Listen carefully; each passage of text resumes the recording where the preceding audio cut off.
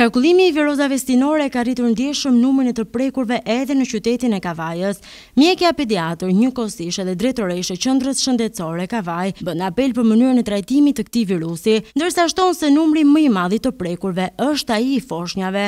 Rreziku i infektimit me virozat stinore është mjaft i pranishëm edhe në qytetin e Kavajës, ku për hir të së vërtetës, rastet me infektim janë shtuar ndjeshëm. Sipas drejtoreshës së Qendrës Shëndetësore Kavajë, zonja Klorela Xhihani, kjo lloj viroze është një bashkim i Covid nëntëmbëdhjetë me gripin stinor. Aktualisht qarkullojnë në vendin tonë dy lloj virozash, që është gripi i stinës, i cili ka dy shtame të tij, Plus ë është edhe Covidi që vazhdon gjatë gjithë kohës. Shiko, moshat e treta janë persona që kujdesen shumë për shëndetin e vet, me thënë të drejtën, ato personalisht por dhe familjarët që i qarkullojnë e thashë, vetëm fakti që personat të mbi, domethënë mbi moshën mesatare, e kanë kryer vaksinën e gripit, është një mbrojtje shumë e madhe për këto viroza që aktualisht është shumë e madhe mbrojtja. Edhe nëse e kalojnë, do ta kalojnë në e kalojnë më lehtë. e kalojnë më lehtë, janë janë të mbrojtur. Një nga shenjat dalluese pasi jemi infektuar është temperatura e lartë, prandaj mjekja bën apel për mos përdorimin e menjëhershëm të antibiotikëve, pasi kjo gjë mund të komplikojë situatën. Të gjitha virozat në përgjithësi fillojnë me temperaturë të lartë, sidomos këto viroza që qarkullojnë aktualisht kanë një temperaturë jashtëzakonisht shumë të lartë dhe shumë rezistente. Temperatura shkon deri në dyzet gradë Celsius dhe e pamenaxhueshme nga analgjezikët, antipiretikët normalë që ne kemi në familjen tonë, shurupat për uljen e temperaturës, qoftë grupi i ibuprofenëve, i brufenëve dhe qoftë grupi i paracetamolit.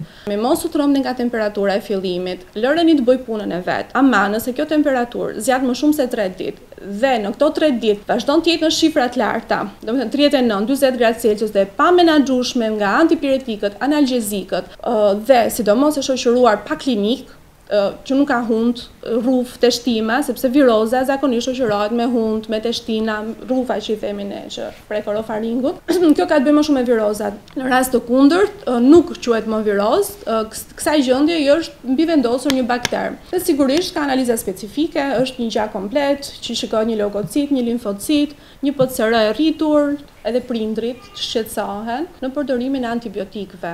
Në fakt, është rritur numri i përdorimit të antibiotikëve, por dhe këto viroza në këtë periudhë kanë qenë me shumë komplikacione, kanë qenë me tonsilite purulente, me otite dhe dhe shumë raste me bronkopneumoni dhe pneumoni, sidomos te fëmijët e vegjël. Të rriturit e kanë kaluar më lehtë, pasi pjesa më e madhe e të rriturve është vaksinuar me vaksinën e gripit stinor. që çdo qendër shëndetësore e ofron falas. Gjithashtu, zonja Xhihani shpjegon se personat të cilët janë të prekur apo fëmijët të cilët kanë temperaturë të lartë duhet të presin të paktën tre ditë me qëllim që trupi i pacientit të fillojë të luftojë me virusin dhe nëse temperatura vazhdon atëherë duhet t'i drejtohemi mjekut i cili duhet më parë të diferencojë shkakun e temperaturës. Temperatura në vetvete është termorregullues. Ça do të thotë? Në momentin që trupi përballet me një agjent të huaj, qoftë ky virus apo bakter, trupi aktivizon mbrojtësit e vet antitrupat dhe ça bën?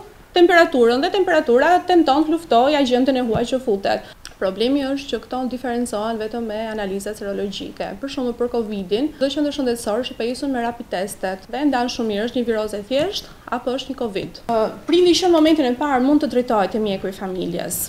Sepse, mjeku i familjes do ta sqarojë me detaje për çdo gjë. Edhe që momentin e parë nuk do thotë, mund të mos presi edhe 3 ditë, mund të drejtohet që momentin e parë, ndërkohë që mjeku e shikon, shikon klinikën, ekzaminon fëmijën dhe i jep këshillat prindit që duhet të presi dy-tre ditë, domethënë ky fëmijë ka kaluar në bronkite, ka kaluar në bronkopneumoni, sepse ai fëmijë përpara mund të mos ketë patur fare klinikë dhe momentin që paraqitet ke mjeku dhe i duket temperatura lart mund të ketë kaluar aktualisht në komplikacion dhe këtë gjë e vendos mjeku. Nuk është e mirë që prindërit të drejtohen direkte në farmaci, sepse nuk e dinë gjendjen. Ndërkohë, mjekja pediatër pohoi shtimin e rasteve me virozën stinore.